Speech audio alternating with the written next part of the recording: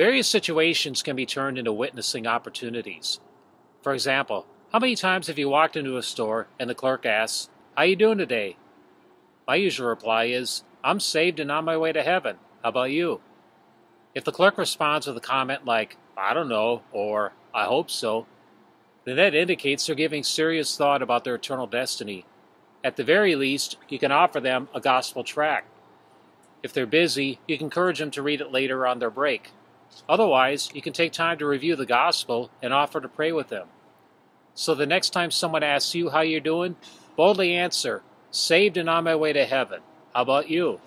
That can open a door for them to find their way to heaven as well. As 2 Timothy 4.2 says, be ready in season and out of season.